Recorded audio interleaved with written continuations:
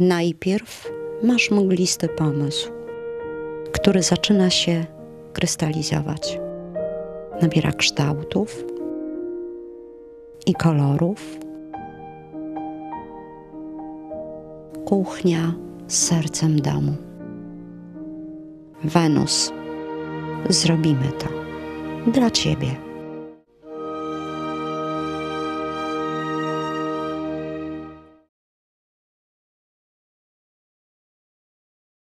Niemal drugie tyle, co jest obecnie, zostanie dobudowane do szkoły podstawowej nr 4 w Suwałkach. Prócz rozbudowy bryły budynku, samorząd planuje również budowę nowej drogi wewnętrznej w pobliżu placówki. W nowej części Suwalskiej Czwórki znajdzie się 10 sal lekcyjnych, z których każda będzie miała ponad 60 metrów kwadratowych. Przy pięciu z nich będą zaplecza. Szkoła zyska też 110-metrową świetlicę i ogromną bibliotekę z czytelnią. Tylko one zajmą 180 metrów kwadratowych.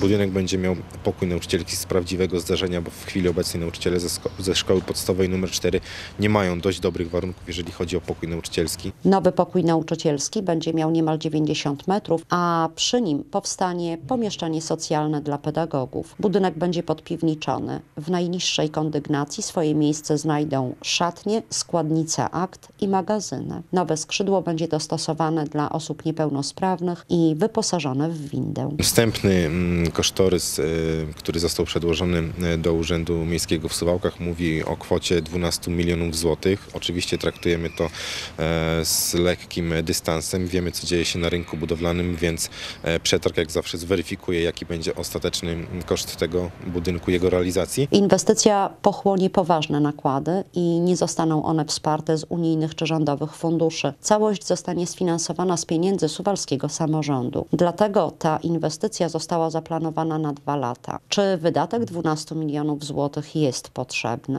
Wszyscy widzimy, co dzieje się na południu Suwałk. Powstają tam od kilku lat dość duże osiedla mieszkaniowe. W tej chwili są tam już istniejące trzy duże osiedla bloków e, mieszkalnych. Powstaje kolejne, a niedawno dowiedzieliśmy się, że w planach dewelopera jest jeszcze jedno, więc na pewno tych bloków tam w Suwałkach powstanie, a w tych blokach głównie mieszkają młodzi ludzie, e, więc myślimy już myśleć e, do przodu, na przyszłość, inwestować w taką infrastrukturę, która zapewni e, tym młodym ludziom i ich dzieciom docelowo miejsce chociażby w przedszkolach czy też e, szkołach podstawowych.